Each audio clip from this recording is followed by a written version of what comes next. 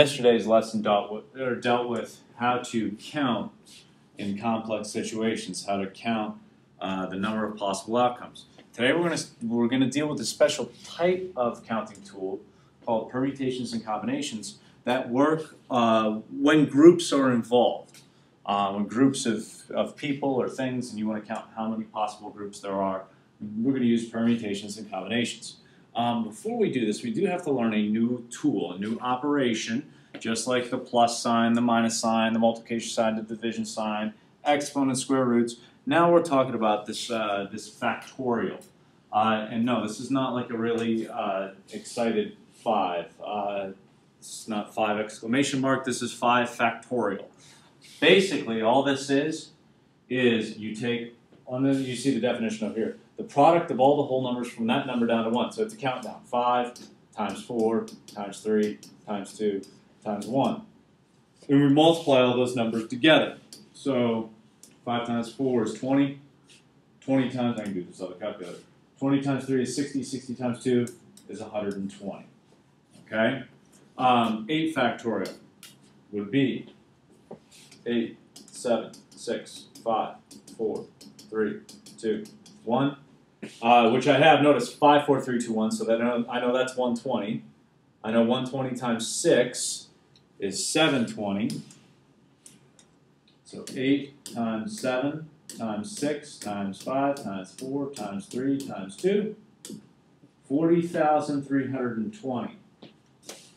Now, you'll notice this is getting very long uh, to have to type all this in. So let's talk about a few shortcuts we can use uh, and you're going to really need to use these little tricks here uh, later on. Um, if I have 8 factorial over 6 factorial, a lot of people want to multiply all that out and then multiply the bottom out and then divide. Well, watch what happens. This makes this a lot easier. I have 8, 7, 6, 5, 4, 3, 2, 1. And then on bottom, I have 6, 5, 4, 3, 2, 1. Now I could absolutely multiply the top, multiply the bottom, then divide.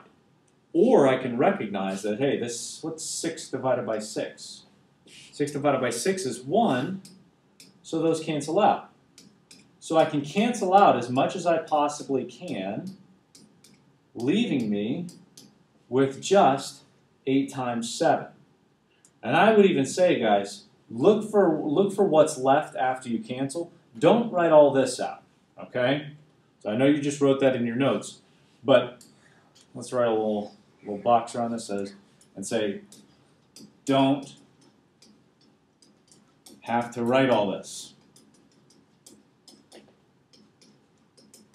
You can if you want. If it helps you, certainly do it. Instead, if I start out with 8 factorial, 6 factorial, think to yourself in your head, okay, that means I have 8 through 1 on the top and 6 through 1 on the bottom. Well, 6 through 1 is going to cancel out, leaving me with just 8 times 7. You don't even need a calculator. You better not. You better not see any fingers moving either. 56. Okay? So the only work you have to show is this right here. What's left after I cancel? So going down here, switch colors again. I have 10 factorial over the quantity 9 minus 2 factorial. As far as order of operations are concerned, uh, parentheses still trumps this because remember, this is just repeated multiplication. So here we go. This would be 10 factorial over 7 factorial. All right, think in your head. I have 10 through 1 on the top. I have 7 through 1 on the bottom. The 7 through 1 can go away, and I'm left with 10 times 9 times 8. Don't use that calculator. 9 times 8, 72. 72 times 10, tack a zero on, and you have 720. These problems look really complicated, they're not. So let's get into the math now of how this works, how we use these factorials to count groups. Let's say I've got a, uh, let's say I've got a race going on. Okay, I have 50 motorcyclists in the race, and I want to figure out how many different ways are there for, for us to go first, second, and third. How many different possibilities are there? Now, this, this is going to sound a whole lot like the fundamental counting principle, but it's slightly different. slightly different because instead of choosing from just, uh, if I've got first, second, and third, I'm choosing three places, right? So instead of choosing just uh, three places, now I have 50 to choose from, okay? Let's simplify this a little bit. Let's kind of apply this to this, this example down here. Let's say I have, instead of five letters, five racers, okay? And I want to know how many ways are there to go first, second, and third. Well, for my first place racer, how many motorcyclists are there that could fit into first place? Well, there are five people who could finish in first. This next part is going to take a little bit of logic.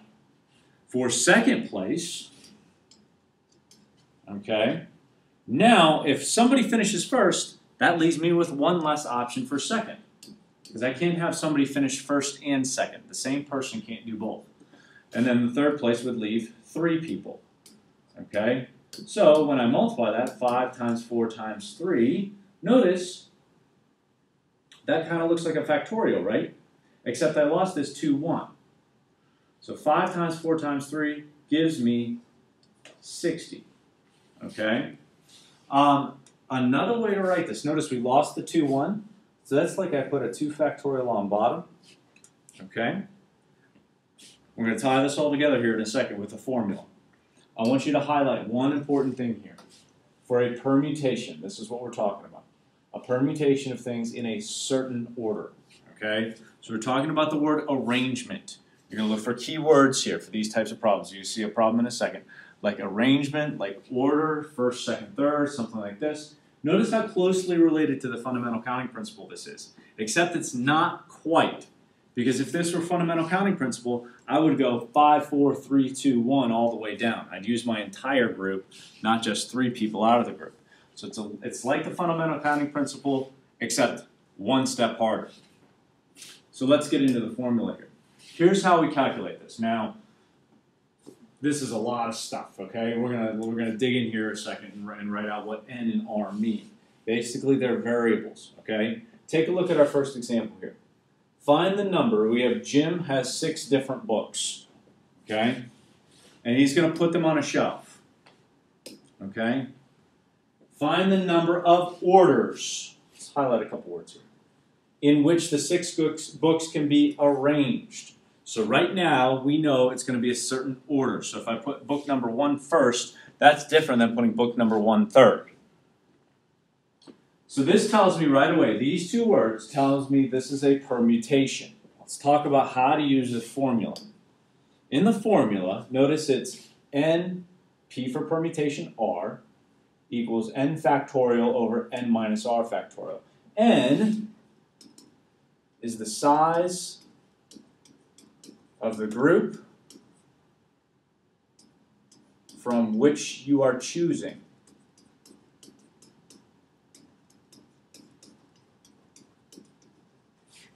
R is how many you are choosing. So going back to our previous example, remember we had five racers, that would be N. We had R, the number we're picking, we're picking three at a time. So that would be 5PR equals, and then I just, uh, 5P3, sorry, 5P3, and then I would just plug in, everywhere I see an N, I'm going to plug 5. Everywhere I see an R, I'm going to plug 3. So this is 5 factorial over 5 minus 3 factorial. And notice how this plays out. This is 5 over 2 and then that would leave, if I cancel out the, uh, the two, two, one here, five, four, three, just like we had before, 60. Okay? All right, so getting down to our example here. First thing we need to do, well, we've already done it. We need to identify whether this is a permutation or combination. We're going to get the combinations in a second. The next thing we need to do is what's n and what's r? Okay, because that's going to tell me what do I what do I plug into my formula. Okay? N, size of the group we're choosing from. Well, he has six different groups, so I'm choosing six different things. Uh, six books can be arranged. Well, I'm taking six at a time. Okay? So this is 6, P, 6. Everywhere I see an N, I plug 6. Everywhere I see an R, I plug 6. So my formula here, okay, is 6 factorial over 6 minus 6 factorial. Uh-oh. We got a problem here. Can't divide by 0. Uh, go back to the first page. One important fact we need to add to our definition of factorial. I don't know if you saw this. The factorial of 0 is defined to be 1. So 0 factorial equals 1. Write that in there. Kind of like uh, anything to the 0th power equals 1, 0 factorial equals 1. Very, very important point. So when I get to this problem here, when I have 6 factorial over 0 factorial, that just means I have 6 factorial on the top, 6, 5, 4, 3, 2, 1. I have 0 factorial on the bottom, okay? You can plug that in your calculator, you're going to get 720 ways. So if you have six books that you want to arrange uh, on a shelf, and you're going to arrange all six books up there, um, there are 720 ways to do that. Take a look at the second problem now. Slightly different. Now the shelf has room for only three of the books. Find the number of ways three of the six books can be arranged. So notice there's a slight difference here. N is still six. There are still six books I'm choosing from. But now I'm only choosing three books at a time because that's all I can fit on my shelf. So this is 6p3. Okay, so then we're going to do 6 factorial over 6 minus, so notice I took, and everywhere there was an n, I put 6. Everywhere there's an r, I put 3. This is 6 factorial over 3 factorial. Now I've got 6 through 1 on the top, 3 through 1 on the bottom. 3 through 1 is going to cancel, leaving me with 6, 5, 4. This is 20 times 6 is 120 ways. Notice, since I'm only taking 3 at a time, I end up with less possibilities. Fewer people to put into groups, obviously, fewer groups. Okay?